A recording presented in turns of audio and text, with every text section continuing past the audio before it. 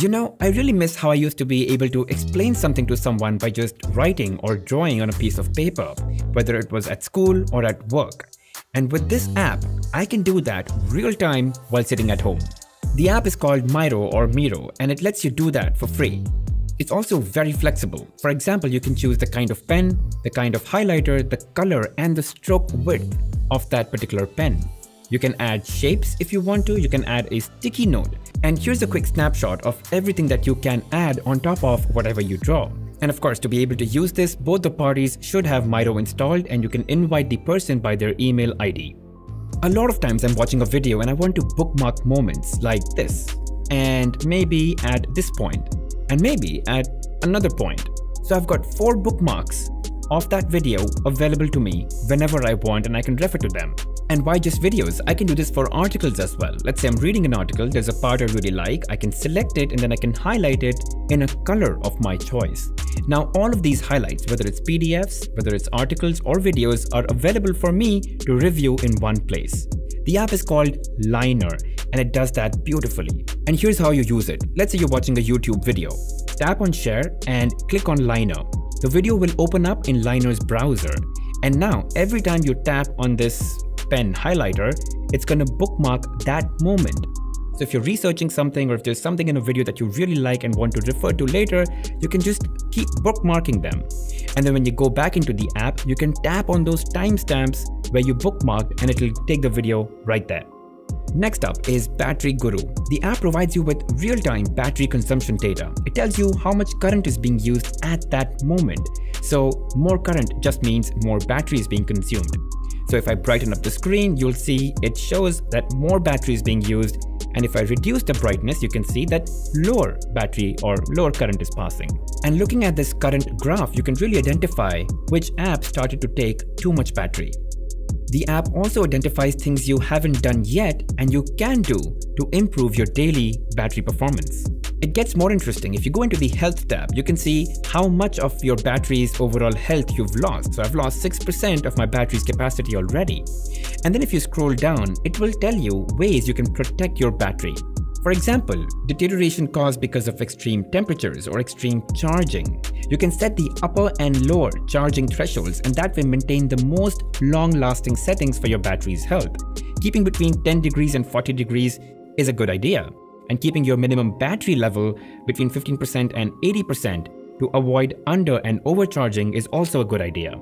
The app will also give you a battery draining reminder if in case it just detects any kind of extra draining happening from a specific app. And guys, before we move on, if you're finding these apps useful, show your support by subscribing to the channel. It really helps me in ways more than you know. Alright, now let's move on. Next, I use an app that helps me open up certain web links or web pages as full screen. So for example, if I go into Unsplash, this is the Unsplash website, but it opens up in full screen as if it's an app. Or let's say I go into B&H photo video website where I, you know, occasionally buy my equipment from. But look at this, it behaves like an app because it's full screen. And you know, if you visit certain URLs very frequently, then this app is certainly useful. It's called Native Alpha. When you install it and open it, just add that URL. It'll automatically fetch the icon for it and you can give it a specific name and that way add that widget onto your home screen so that you have easy access to it. That's it. Next up is actually a game. It's called Shapes and it's a slightly mind challenging game where you have to complete the shape which is almost like a loop. You turn around parts of the shape to form that big final shape. And needless to say, it does become difficult as you progress. There's also an audio experience to it, and here's a sample for you.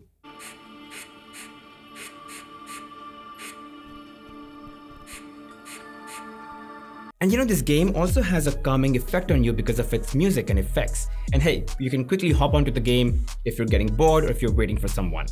It's also a bit of a mental exercise for you, and I think it's better than aimlessly scrolling through social media, Instagram or TikTok. Alright, moving on. You know how there are so many apps in the Play Store that help you fall asleep, and the good ones are paid, and the free ones are not that good. This app is right in between. So the app, when you open it up, it shows you some scenes that you can browse through. These are free, these are presets, and they're already made. They are obviously a combination of a few sound effects that are already in the app and you can enjoy them for as long as you want and you can place a timer too. Here's how they sound.